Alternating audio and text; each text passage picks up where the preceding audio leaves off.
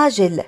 بسبب لعبة الببجي طفل يأخذ مسدس والده ويقتل شقيقه ويهدد الجيران وتحذيرات عاجلة لجميع أولياء الأمور. إن أعجبك الفيديو لا تنسى الإعجاب والاشتراك في القناة.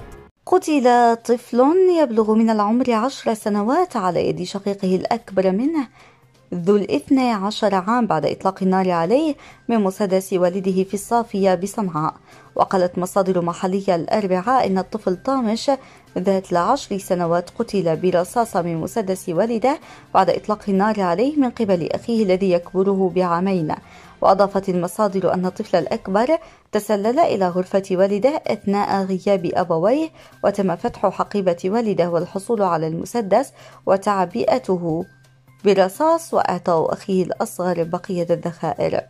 وأكدت المصادر أن الطفلين فتحا نوافذ المنزل في الطابق الثالث مهددين الجيران بإطلاق الرصاص وهو ما تم بالفعل لكن الجيران لم يستطيعوا التدخل خوفا من إصابتهم بأعيرة نارية.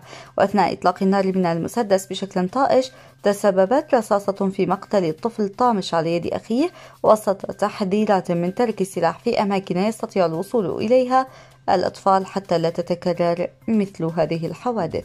إن أعجبك الفيديو لا تنسى الإعجاب والاشتراك في القناة.